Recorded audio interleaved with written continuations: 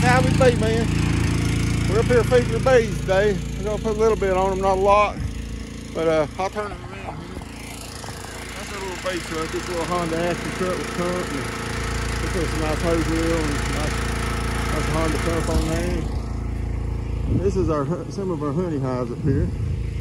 They're all eight and ten frames. They're all running about eight frames as you got they're doubled up and I'll tell you they're running probably almost 10 frames of brood in them now. We're gonna have to split them down here pretty soon. We'll kind of check the board and move stuff around, but I tell you what, it's they're really heavy this year. So this sort of show you how we set up for our old pump system here. We got this little hose here. And uh, what we do, let me ease this off here. See, now, we still got our quilt boards on, trying to keep them warm.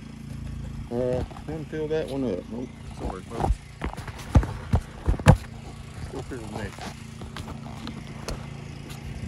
I try to put them all the same way. I don't, it ain't hard to get to. You don't have to disturb a lot of bees. Uh, all right, girls. Just got stung. Just trying to feed you so you can sting me.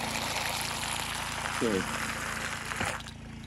There you go. But that's how we do it here at Albee Bee Farm.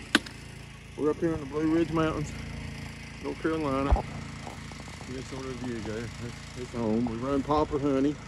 You can see it's all poplar trees everywhere. So we love our poplar honey. It's good stuff. Like it better than sourwood, I think. That's got a better cream to it. Don't have an afterbite. But we do have some sourwood here. You can see right there on the tree right there. There's a big old sourwood right between them pines. So we do have a little off blend. We'll put a little bit of sourwood in with it.